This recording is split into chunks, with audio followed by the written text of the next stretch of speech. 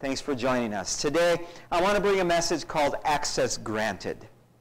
Have you ever done a computer program or something? Maybe you're going to check your email and you have to type in a password. And you type in the password and you get one little character wrong. It says access denied. Access denied. Access denied. How many have seen that? Well, this is God's message to the world by way of the cross of Jesus. The tomb is opened. Access granted. Access is not denied, it's granted. And this is the story of access granted. So join with me today as we look at Matthew chapter 28, verses 1 to 15. Before we look at that, let's ask the Lord to bless our time. Our Father God, we thank you for this glorious day. It truly is a happy day. And Lord, we know that it's not just happiness, but it's joy. It's joy, it's unspeakable joy that, that we are gathering together and celebrating the resurrection of our Lord. Lord Jesus, you are who you said you are. And we thank you and praise you for your resurrection because through your death on the cross and your resurrection, you have taken the sting of death out. The victory of death is, is gone. You have been victorious over death. And we thank you for that victory. Now we ask, Holy Spirit, that you lead, guide, and direct us in your word. And may it be alive within our hearts. In Jesus' name, amen. Matthew chapter 28, beginning with verse 1, after the Sabbath at dawn, on the first day of the week, Mary Magdalene and the other Mary went to look at the tomb. There was a violent earthquake, for an angel of the Lord came down from heaven, and going to the tomb, rolled back the stone and sat on it. His appearance was like lightning, and his clothes were white as snow. The guards were so afraid of him, they shook and became like dead men. The angel said to the women, Do not be afraid, for I know that you are looking for Jesus who was crucified. He is not here. He is risen, just as he said. Come and see the place where he lay. Then go quickly and tell his disciples, He has risen from the dead and is going ahead of you into Galilee. There you will see him. Now I have told you. So the women hurried away from the tomb, afraid yet filled with joy, and ran to tell his disciples. Suddenly Jesus met them. Greetings, he said.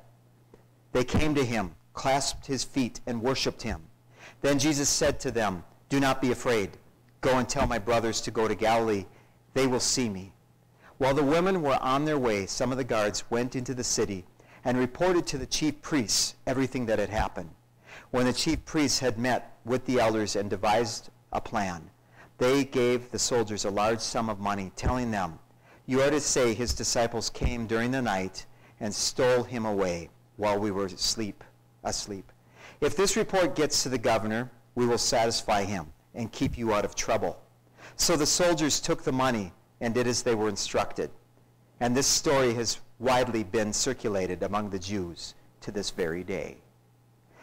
Well, friends, today I would like to, for us to ponder four things surrounding the resurrection of Jesus.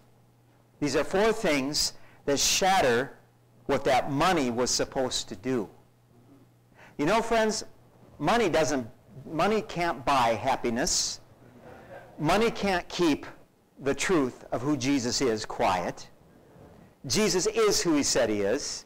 And today I want to share with you four reasons why we see the resurrection as we see it, as it really happened, and why God did it.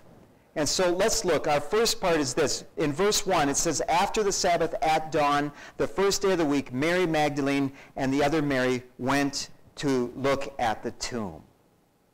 You see, the resurrection is about this, about Jesus rising from the grave, but also targeting ordinary people who witness an extraordinary event we have this that there's so much ordinariness in this extraordinary thing that happened. That the people of the resurrection, you look at the people, they were ordinary, everyday people. They weren't people who were of high esteem or in high levels of government. They were people of ordinary existence. And we have here fishermen. We have a former tax collector.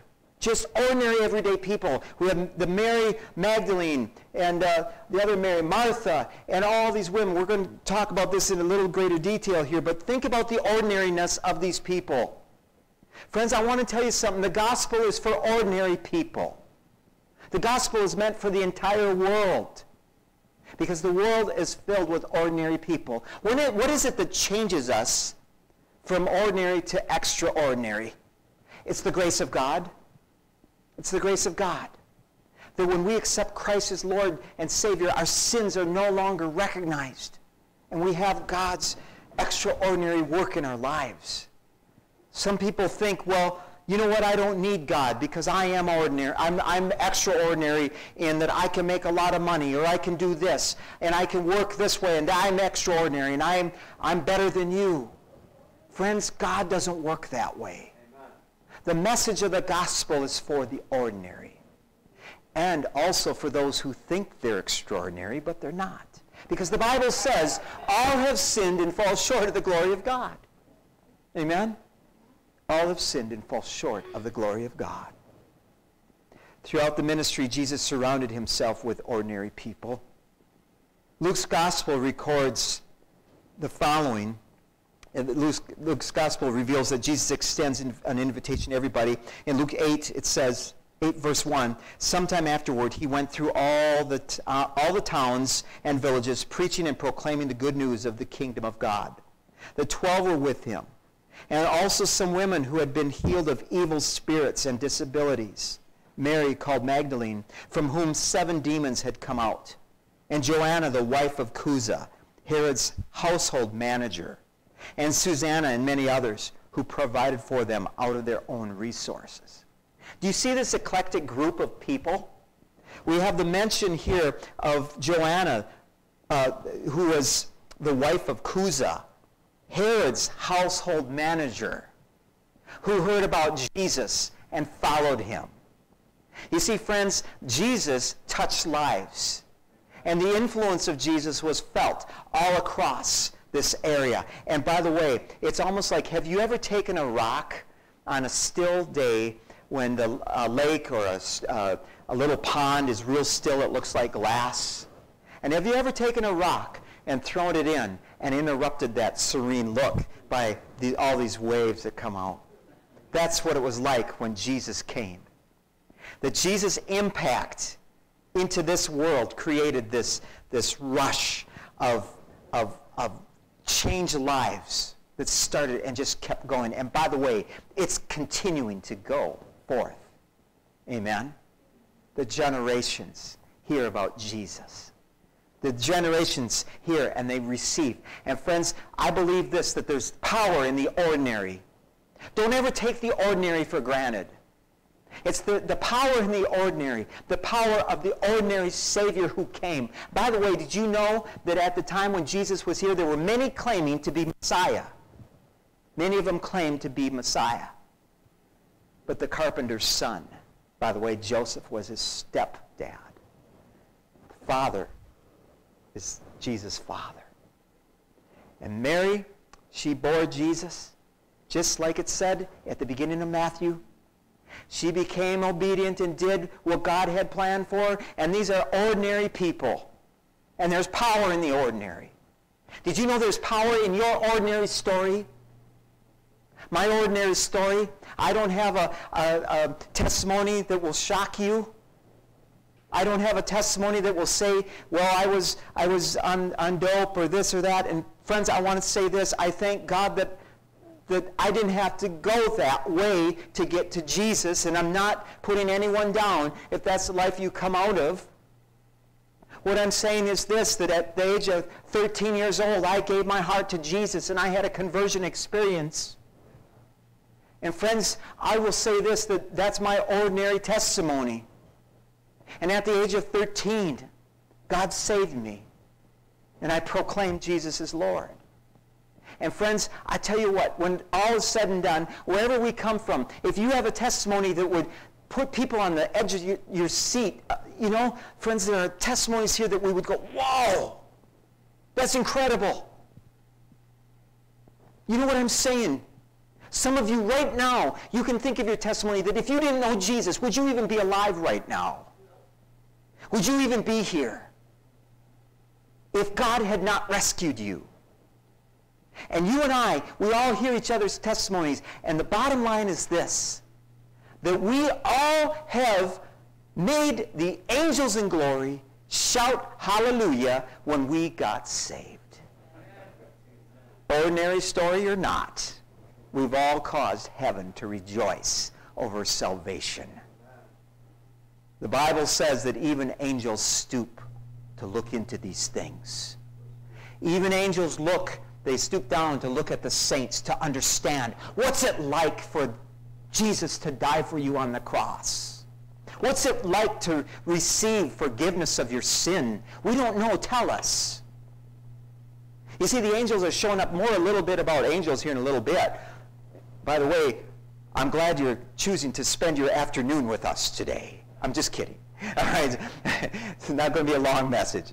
I'm just saying that we have so much exciting things to talk about, but it begins with the ordinary. There's something about God that is so powerful. People are always going, God, send me a sign. Send me a sign this way or that. Lord, send me a strike of lightning that will show that you hear me. God doesn't work that way.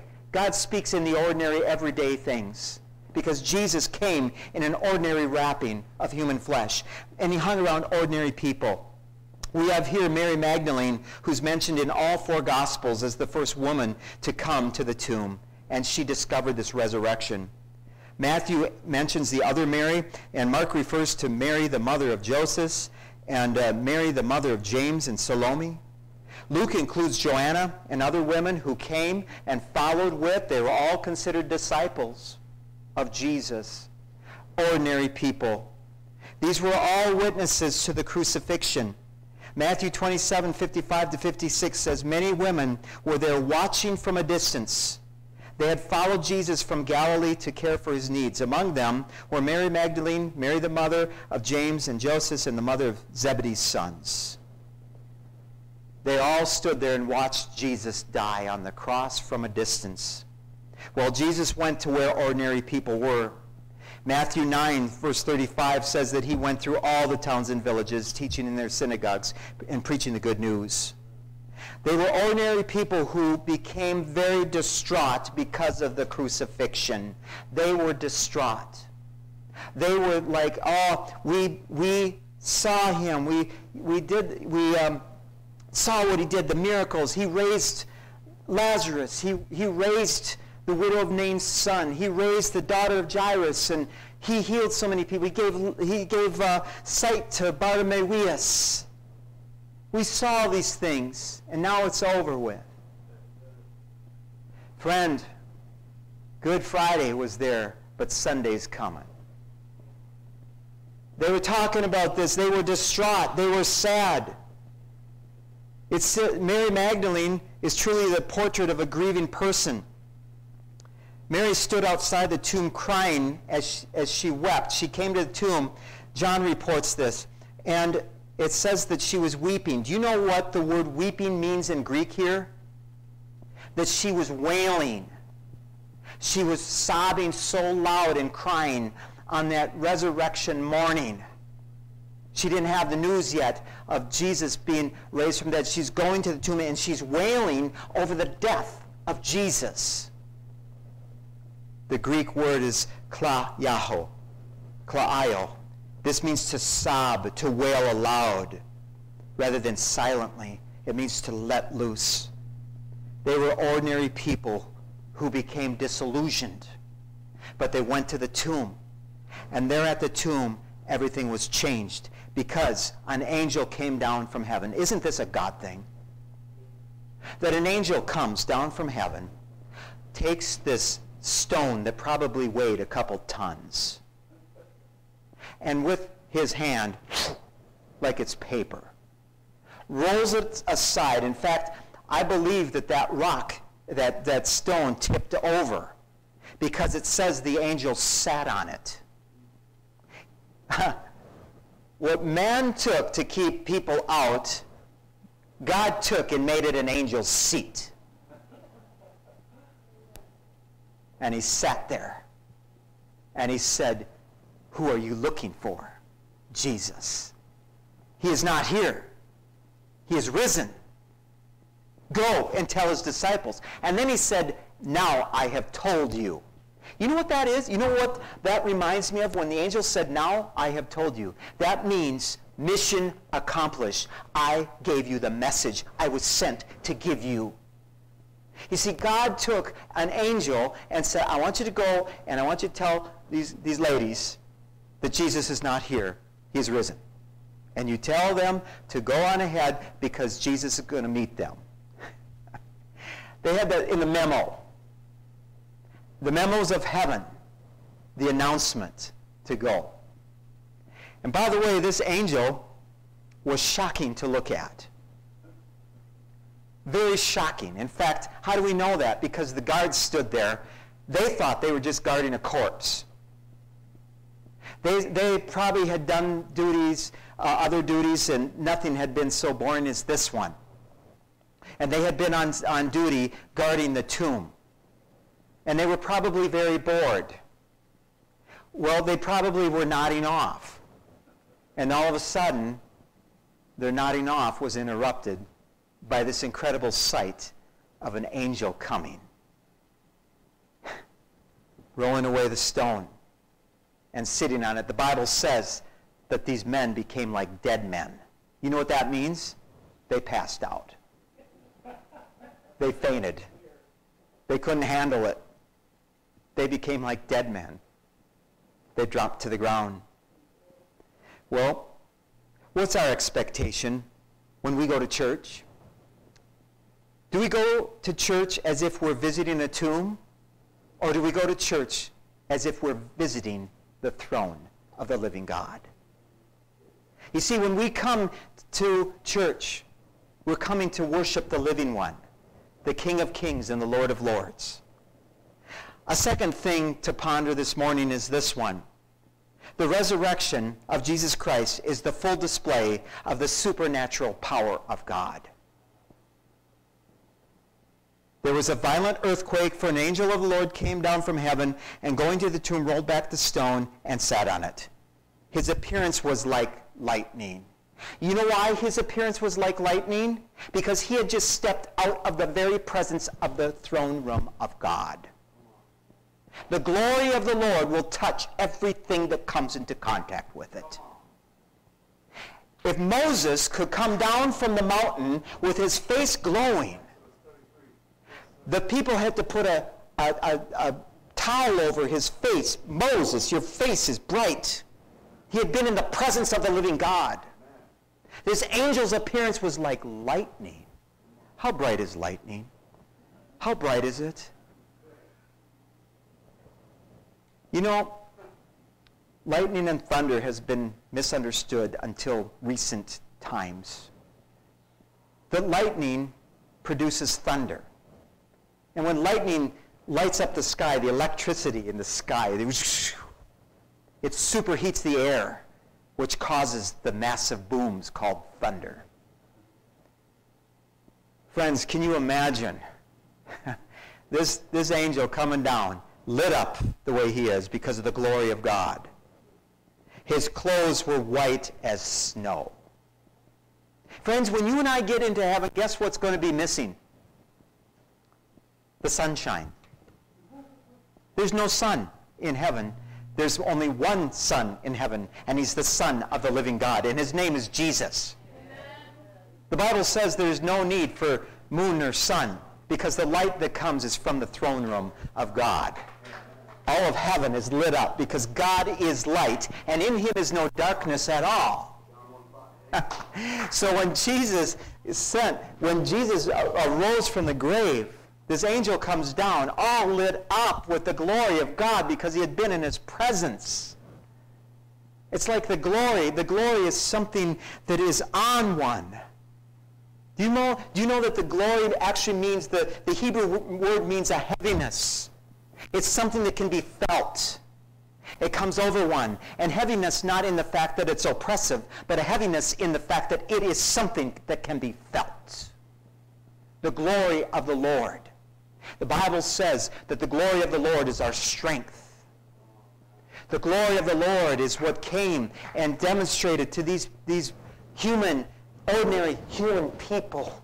That's what human means. But anyway, these ordinary people that something extraordinary happened. It's the supernatural power of God. You and I serve a supernatural God.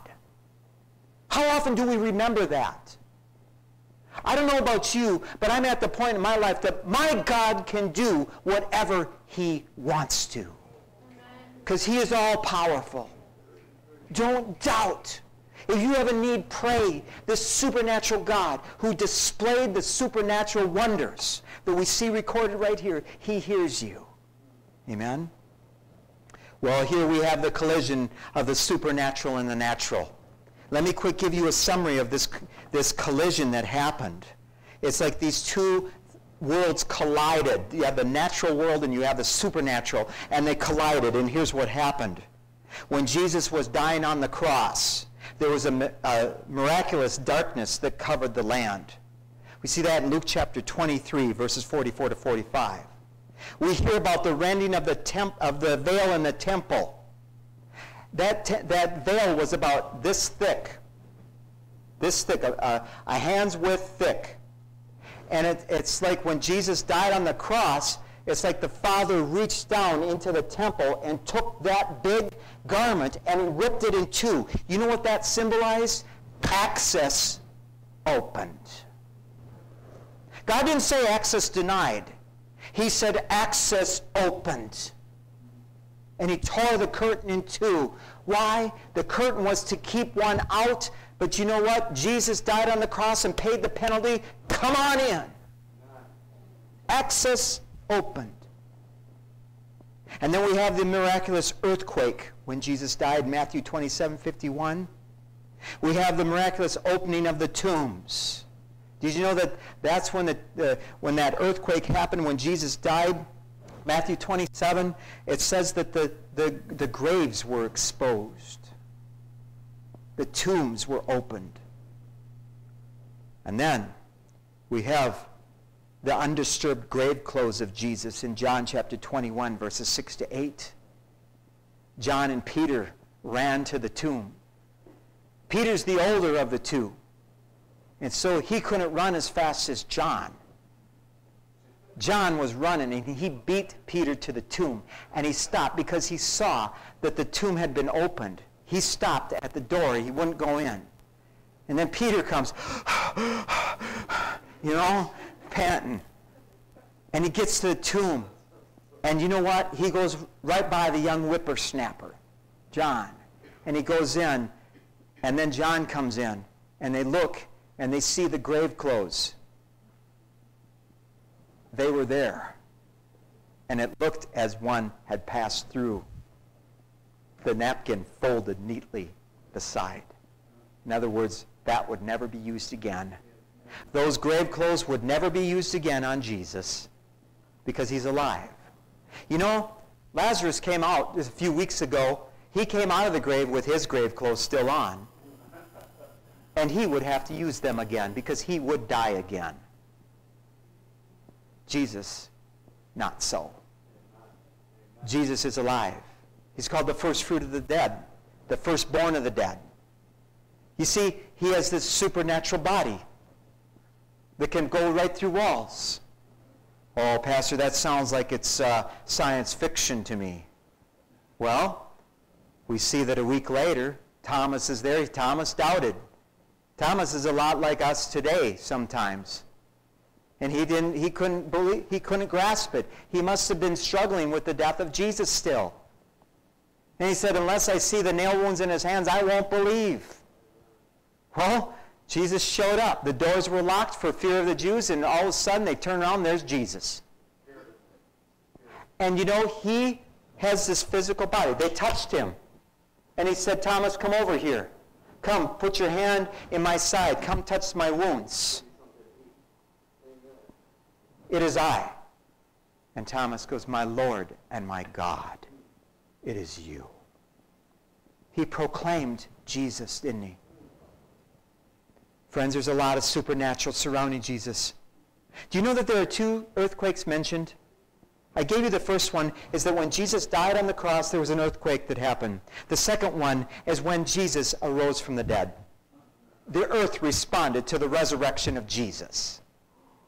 You have the collision of the supernatural with the natural, that this very earth responded to her king, responded to her creator. You see, the Bible says that all things were created by him and for him. That he is, everything is under him. And the earth itself shook. it shook. And Jesus is alive. Amen. Well, violent earthquake. The next thing we see here is the collaboration of angels. Angels are very busy concerning Jesus. You see, when God sent Jesus when to, as a little baby, a little tiny baby, he was announced by angels. The angelic activities surrounding uh, the, the, the, the coming, first coming of Christ. Luke chapter 2. Remember? A few months ago, we looked at this passage, and there were shepherds living out in the fields nearby, keeping watch over their flocks at night. They were watching over the Passover lambs that would die that next Passover. See, the Lamb of God was sent, and the angels announced it. Here it says, an angel of the Lord appeared to them and said, and it says, the glory of the Lord shone around them. Once again, the glory of the Lord shone on them. There's bright lights. And they said, they, these guys are terrified, right? And the angel says, don't be afraid. I bring you good news of great joy that will be for all the people. All the people. Today in the town of, of David, a Savior has been born to you. He will be Christ the Lord. He is Christ the Lord. This will be a sign. You will find a baby wrapped in cloths and lying in a manger. Okay, so there was a collaboration of angels that they went and announced the birth of Jesus. Here they announced the resurrection of Jesus. The angel of the Lord came down from heaven, going to the tomb. He rolled back the stone and sat on it. I can just see this in my head where this angel comes down, lands on, on the ground, walks over, and then sits down probably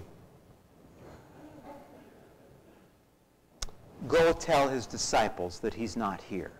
He's relaxed. How can this angel relax? How can this, this magnificent created being be so calm? Because hmm. he knows. Sunday morning's here. Resurrection day is here. And the Bible says that the women were terrified. The Bible says two things about these ladies. They're both filled with joy but filled with fear at the same time. Have you ever experienced that? Where you've been scared but joyful at the same time? There are two emotions that are colliding in, and you get this one mix of, wow. The adrenaline pump, along with the fear, along with the joy that goes in between. They felt all of it. You see, the angel proclaimed the resurrection. Do we close the books on that? There's going to be one more. There's going to be one more declaration. There's going to be one more collaboration of angels. You know what it is? The return of Jesus. For the Lord himself will come down from heaven with a loud command and with the voice of the archangel and the trumpet call of God and the dead in Christ will rise first. After that, we who are still alive and are still together will be caught up together with them in the clouds to meet the Lord in the air. And so we will be with the Lord forever. Therefore, encourage one another with these words. there will be a day where Jesus is going to return. And I believe that we're closer to that. You and I, if it happens in our lifetime, we will witness this. And it's going to be an ordinary day. We'll probably get up and have our coffee. We'll probably look at the news. And then we'll read our scriptures and pray to start the day. And we'll have our breakfast, brush our teeth, get ready for work, go to work. And, you know, something will happen at work. Oh, get over it. Whatever. Might be having a bad day. How many would like to see Jesus come on a Monday morning?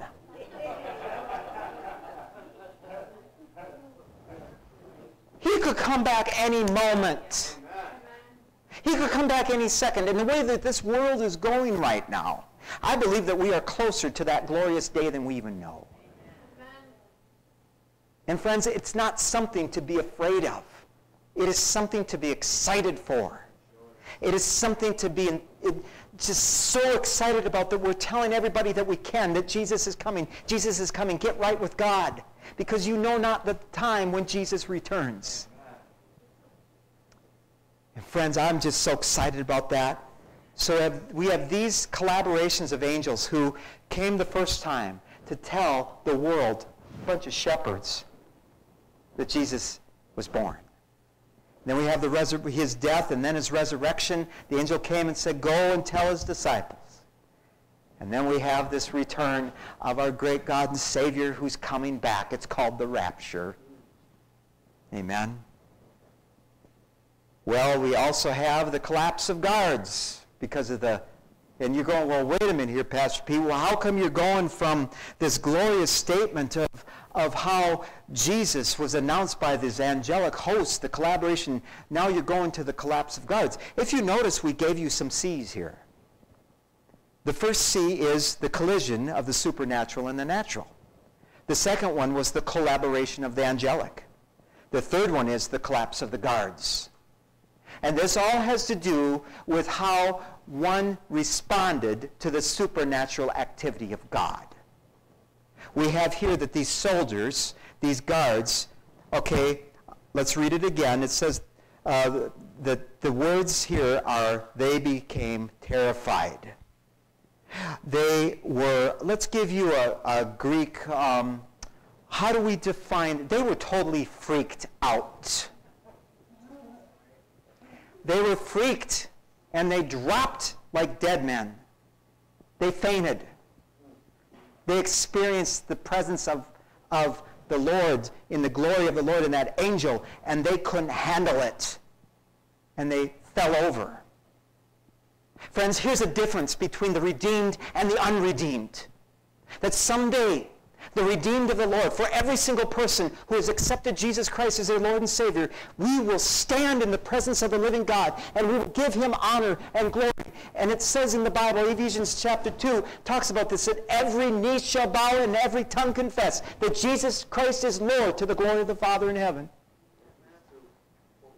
But there will be those who have rejected Jesus. They will be summoned to the throne.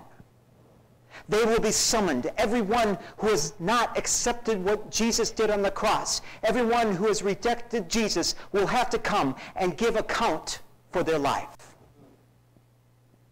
You see, everyone has the opportunity to hear the gospel message. And by the way, we are coming now to the days where there's no excuse. Even creation points to the Creator. And friends, there will be a day where there will be an accountability day. What did you do with the gospel message?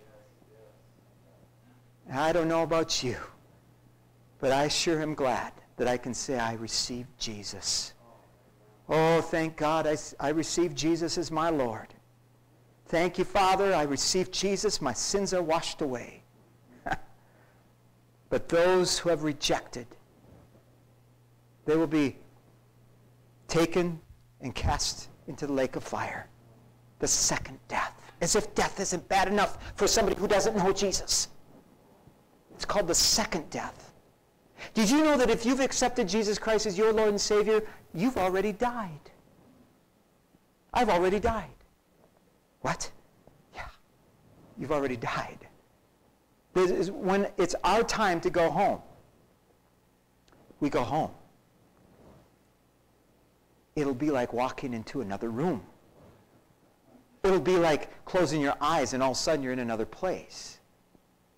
Only there will be no more pain, sorrow, no more obstacles. There'll be nothing but joy, celebration. We're going to see Jesus for who he is. That's if we go home that way. But if we go home by way of rapture, you're going to be doing your day. All of a sudden, you'll be sipping a cup of coffee if you're on your coffee break, and all of a sudden, poof, whoa, where's my coffee? I believe, first of all, you're going to hear a trumpet sound. There'll be a trumpet sound. It's a signal. Church, get ready. Here comes Jesus. And we will see him face to face. Friends, the third thing is this the imperatives of the resurrection. What are imperatives? They're commands. There are four of them. Four of them right here in our scripture. The first one is this. The angel said to the women, Do not be afraid. Fear not. That's comfort. The first imperative is an imperative of comfort. Don't be afraid. Do you remember your dad or your mom telling you that? Don't be afraid. I'm here. When my son was little, he was just a little guy when we came. He was about a year old and and year and a half, and uh, two, three. You know, I remember those years so so awesome. And when I see a dad with with little kids, I always if, if I feel compelled, I will say, enjoy these years because they go fast. You know what I'm saying? And they kind of look at me funny, but then they see the gray hair. And it's like, oh, okay. How many kids do you have? I said, I have two. And, you know, we'll get talking about how, what a blessing kids are. But I remember my son one day. It was a Sunday night. Do you remember Sunday nights when you'd have worship services? And come, those are wonderful evenings. And one night, we had a great service. Service was over with, and everybody was taken off. And my son and I, just a little guy, he's about three years old, he liked to go with me throughout the building as we shut the lights off. And so we shut the lights off downstairs, and down there, there's, it's over on one side where you shut the lights off. And so we came in on this stairwell down and in, and I felt his little hand. And I said, well, we called him Petey. Petey, shall we shut the lights off? Yep. Okay, so we shut the lights off, and I said, oh, are you scared? You know what he said? No, Daddy, you're here. No, Daddy, you're here. I held on to that. And I held that hand all the tighter. Yeah, I'm here with you. Fear not. Fear not in your life because the Father's with you. When you have Jesus as Lord and Savior, you are not alone. You can go through awful things on this earth. And by the way, God never promised everything to be perfect. Don't you wish he did? But he didn't. You know what? That's kind of good in a lot of ways because you know what it does? It helps us to be more dependent upon his presence and to hold his hand all the tighter when the going gets tough. Because God has promised, never will I leave you or forsake you. Though you walk through the valley of the shadow of death, I will be with you. Though you walk through some very dark times, you hold the Father's hand because you have been purchased by the blood of Jesus to become a son or daughter of the living God. So we have the comfort. The second imperative is he is not here. He is risen. That's truth. Truth. Jesus said that he is the way, the truth, and the life. And by the way, we're not talking about a little t. We're not talking about a truth. We're talking about the truth. This has the definite article on it, the truth, which means it is the truth. Jesus is all truth. And people will argue and say, well, there are many truths. There are many ways into heaven. No, there's one way, and his name is Jesus. He's the only way that we get into heaven. And so he is not here. He is risen, just as he said. Romans chapter 1, verse 4 says, And through the Spirit of holiness was declared with the power to be the Son of God by his resurrection from the dead, Jesus Christ our Lord. In other words, this is what it's saying. The Holy Spirit, the Spirit of holiness, raised Jesus from the dead and therefore declared that he is who he said he is, the Son of God. The resurrection proves that Jesus is who he is. Amen? So we have comfort, truth. The third one is come and see. You know what that is? Invitation. Invitation. Come and see the place where he lay. It's invitation. Come and see. The fourth and final one is go quickly. That's instruction. Go quickly and tell his disciples. Go quickly and tell everyone that you know. Go quickly. Why are we to go quickly? We are not to drag our feet when it comes to the gospel message. We need to be right in the path of going quickly everywhere we go to tell somebody about Jesus. Why? Because he's the soon and coming one. I love the fact that there's an urgency put on this word, on this invitation to go quickly.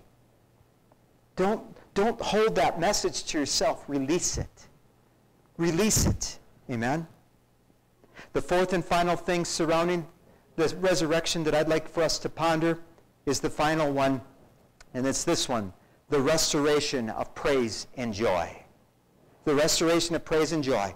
Verse 8 says So the women hurried away from the tomb, afraid, yet filled with joy, and ran to tell his disciples. Suddenly, Jesus met them. Greetings, he said. They came to him, clasped his feet, and worshiped him. I wanted to stop there for a second. Notice this. It says they came to him and clasped his feet. So how did they do that? That means that when they saw Jesus, they hit the ground. They fell on the ground. They clasped his feet. They saw him and they worshiped him.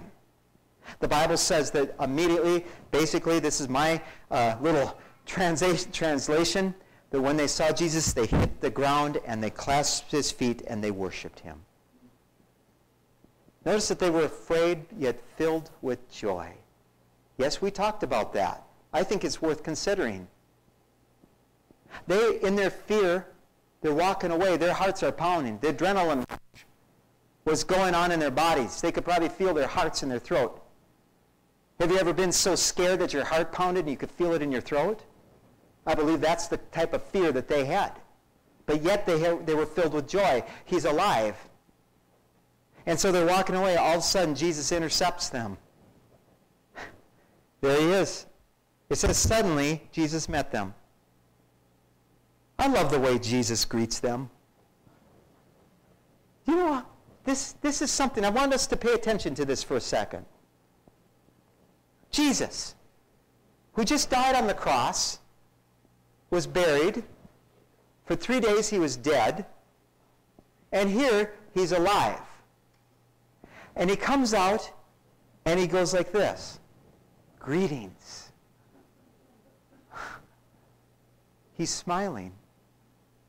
The Greek word here is chairo, and it means full of cheer. It means full of this joy. Isn't that amazing? The Savior is smiling. The resurrected one is smiling. You know that voice on the old, uh, the old Ten Commandments movie?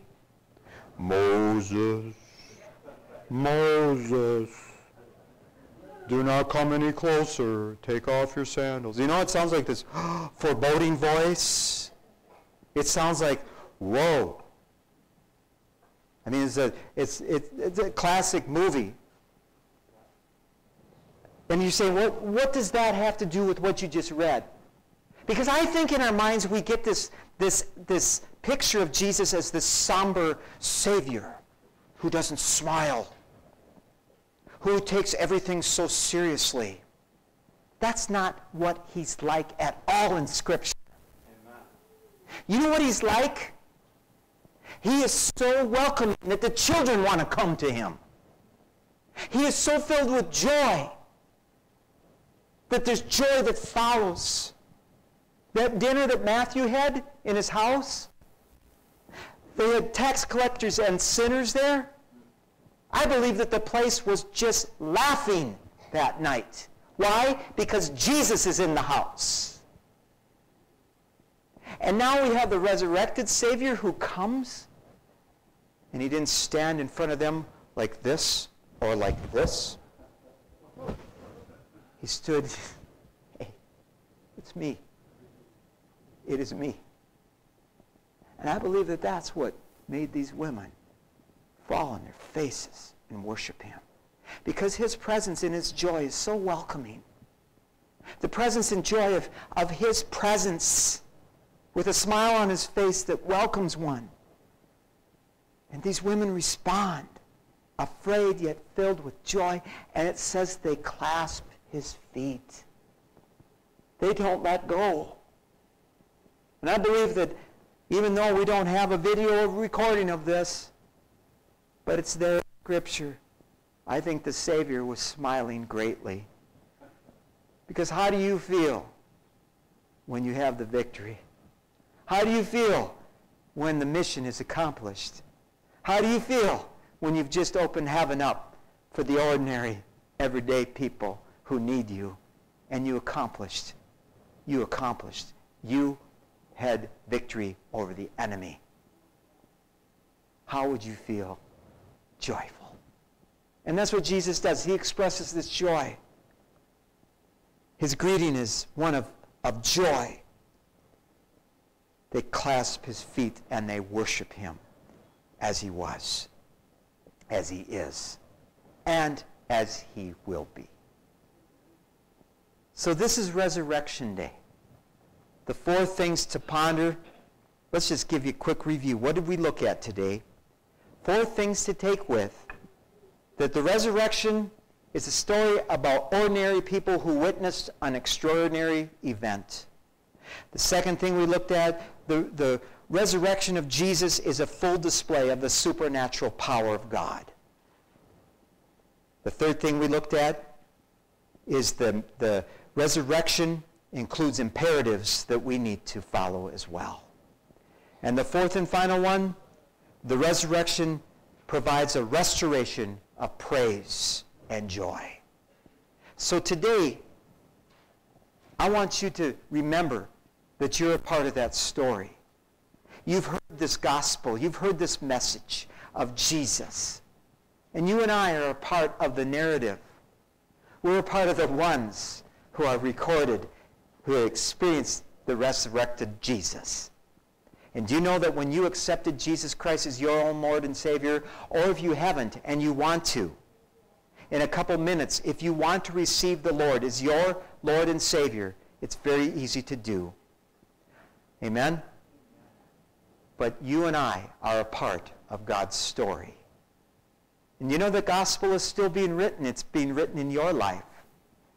Yeah, you might not have an easy life. None of us have, have it easy. But aren't you glad you know Jesus?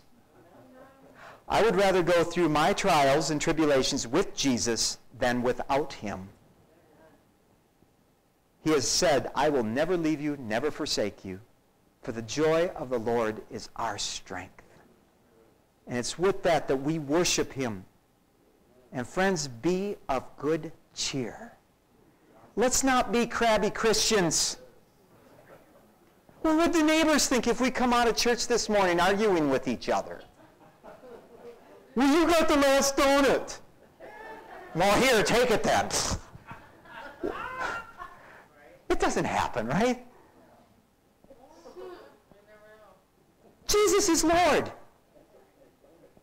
We all ought to be the most exciting people to be around. Even though times are tough sometimes. When I want to complain about the price of gasoline, you know, you go to get gas or you go to get groceries. Have you noticed that there's no pasta in some places? Eggs shortage because the avian, avian flu or whatever. It's like, what's next? but you know what? When I find myself complaining about the price of gas, I say, thank you, Lord, for this car. The gas might be expensive, but I thank you for the use of this vehicle. This belongs to you, Lord. I will take care of it and I won't complain. You are my provider. Render your complaints to the Lord. Let go of them and don't complain. Just release them and say, Lord, turn your complaints into praise. Because you and I have more to live for because our Jesus is alive. He's not dead. He's not in some tomb. Friday night, we didn't have a funeral service. We had a recognition that Jesus died for us. And today, we're recognizing that Jesus lives for us. We shouldn't complain about anything in this world anymore because Jesus is Lord. Amen? Well, Pastor, you just don't know the circumstances I'm going through right now. You don't know where I work. You, uh, you probably couldn't do the job that I do. I probably couldn't. But I'll tell you something. That job belongs to God, and he gave it to you. Start praising him. There's power in gratitude. And if Jesus can walk to these women with a smile on his face and say, Greetings, he just conquered the grave. Why can't you and I have the joy of the Lord every day? And let's give him thanks. Let's give him thanks. Well, Pastor, I'm tired of this cold weather. I'm tired of the snow. I'm tired of this.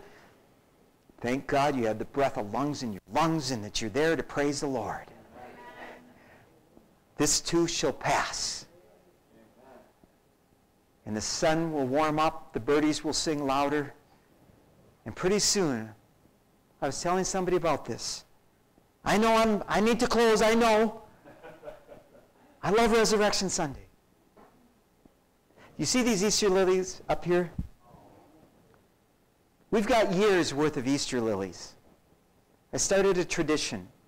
I can't throw any Easter lily away. And so the ones that don't find homes get a new home between two bushes in the front yard. And what's so beautiful is that these start to grow. I was just talking to some of the ladies about this. That when these are all done in here, we plant them. They're bulbs. And you know, for the first year, I think they turn white. I think they're white when they come up. But then they turn this beautiful orange color. After like three years, maybe. And there is, in the front yard is a collection of Easter lilies from past services of long ago. Some of those lilies were given by a saint who went home to be with the Lord. Her name was Virginia. And every year she would have her friend bring her with all kinds of Easter lilies to decorate our church. And I didn't have the heart to throw those away. Her blessing has outlived her. And her blessing still blooms and recognizes the lordship of Jesus, even though she's home with the Lord now. But friends, life blooms greatly, even in desperate times, even in hard times. You see, we're ordinary people.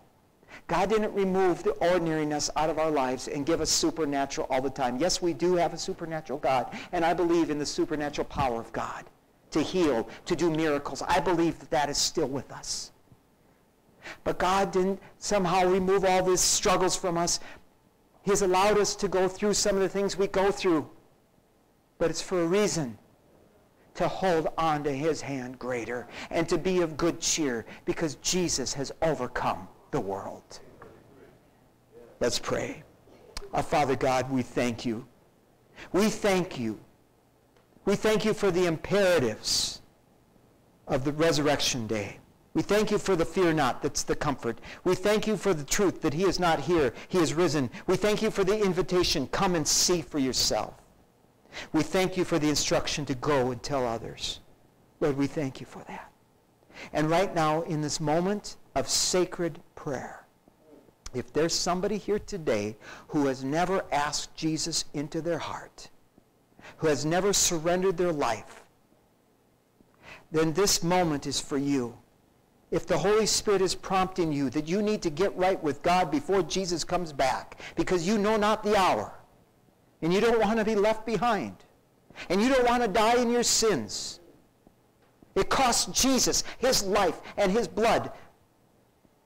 It costs him everything for your life and my life, our souls.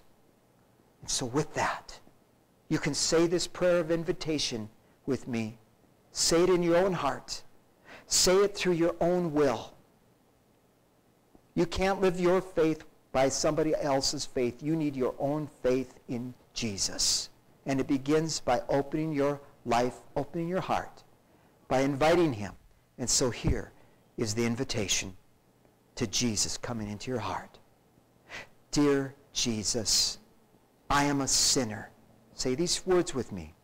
Dear Jesus, I am a sinner, and I confess that. I believe that you died on the cross for me. Please forgive me for my sin. I believe that you not only died, but you were dead in the grave for three days, and the Father raised you from the grave. I believe that you have become the risen one. I believe that you're alive. Come into my heart to be my Lord and my Savior. I invite you into my life right now, and I surrender everything to you that you would come and live within me. Write my name in the Lamb's Book of Life. I receive Jesus as Lord and Savior today. Father, thank you for sending Jesus. Thank you for loving this world so much that you gave. And I receive him now as Lord and Savior. And I proclaim him as Lord and Savior in the, the presence of this world and in the presence of the throne. I will declare it. In Jesus' name, amen.